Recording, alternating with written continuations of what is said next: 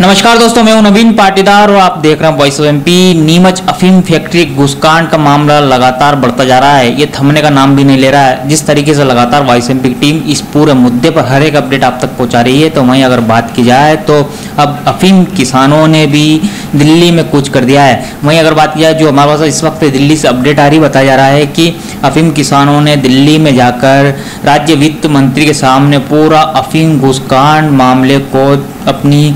दमदारी से उठाया है। अगर वहीं अगर बात की जाए तो जो हमारे पास खबर आ रही है, बताया जा रहा है कि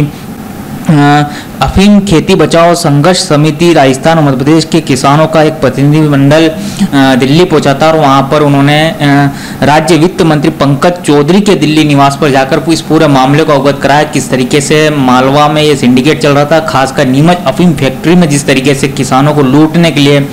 पूरा सिंडिकेट चलाया जा रहा था, इस पूरे मामले को अवगत कराया। शशांक यादव से जुड़े अन्य लोगों को लेकर उन्होंने भी मांग की है कि सीबीआई जाँच करनी चाहिए ताकि इस पूरे मामले की खुलासा हो सके, किस तरीके से शशांक यादव को पैसे दिए जाते थे और किस तरीके से इस पूरे मामले में कितने लोग और कौन कौन जुड़े हैं ताकि इन भ्रष्ट अधिकारियों को निलंबित किया जाए और साथ ही इस पूरे मामले का खुलासा हो सके। वहीं दूसरी तरफ़ अगर बात की जाए, जिस तरीके से हमारे पास खबरें आ रही बताया जा रहा है कि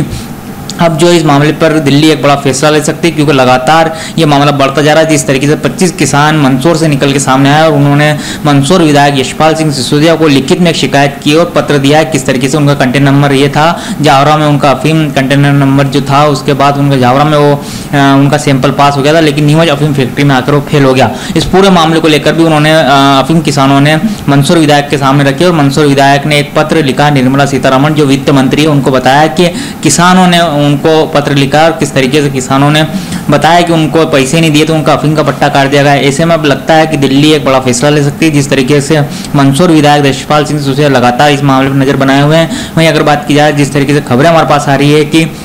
दिल्ली से एक बड़ा फैसला यहाँ जल्द आ सकता है। साथ ही ऐसा भी बताया जा रहा है कि जो दोषी अधिकारी, कर्मचारी है, उन पर एक जाँच बिठाई जा बिठाई जा सकती है। इस वक्त की ये जो अपडेट हम आपको बता रहे हैं, जिस तरीके दिल्ली में किसानों ने कुछ किया है और दिल्ली में जाकर डेरा डाला है और किसानों ने मांग की है कि इस पूरे मामले की सीबीआई जाँच मांगो। सीबीआई जाँच की जाए ताकि इस पूरे रैकेट का खुलासा हो सके। वहीं अगर लगातार वाई की टीम बताती जा रही है कि इस पूरे मामले में जहाँ अधिकारी इतने दोषी उतने दलाल बिचौलिए भी हैं, जिस तरीके से कई बड़े दलालों के नाम निकल के हमारे सामने आए। अगर वहीं बात किया कसुंडी के दलाल की बात की जाए, छायन की दलाल की बात की जाए चीता खेड़ा के दलाल की बात की जाए नीमका खेड़ा की दलाल की बात की जाए, रतनगढ़ के समय जो है दलाल की बात की जाए, मंदसौर के जावरा और पिपलिया मंडी और तमाम जो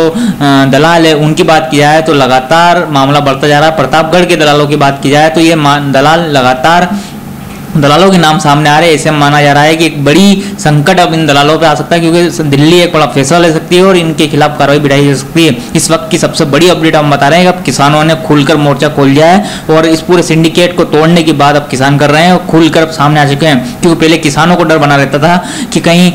विभाग हमारे ऊपर एनडीपीएस की कार्रवाई ना कर दे, कहीं हमारा पट्टा ना काट दे। ऐसे में किसान अब खुल के सामने आ चुके हैं और इन अधिकारियों के साथ साथ इन दलाल बिचौलियों के खिलाफ भी कार्रवाई की मांग कर रहे हैं। इस वक्त की सबसे बड़ी अपडेट अपडेट हमने बताई है कि दिल्ली में किसानों ने राज्य वित्त मंत्री जो हैं, उनसे मुलाकात की है और सीबीआई जाँच की मांग की है। इस वक्त की सबसे बड़ी अपडेट थी। इस तरह की अपडेट के लिए बने रहे हमारे साथ। जय हिंद, जय भारत।